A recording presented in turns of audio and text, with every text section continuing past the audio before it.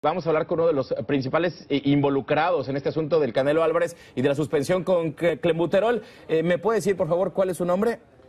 Eh, bueno, mi nombre es Tomás Hueso, pero en el mundo del boxeo me conocen como y, y, estoy muy contento de que me hayan invitado a su parrilla de programación. Ah, muy bien, señor Tibón. ¿Le tomó por sorpresa la noticia? Me tomó crudo. El, el tema me tomó muy crudo. Sentí como un vacío en la entraña pero ya cuando se fue cocinando la situación, pues ya lo pude tomar de mejor manera, ¿no? Oiga, señor Tibón, ¿y ya pudo hablar con el Canelo? Ya se, me acercó, ¿no? Había mucho nervio en ese momento.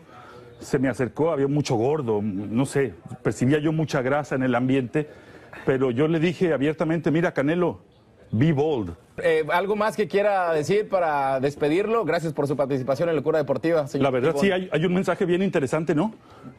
Coman frutas y verduras y pollo.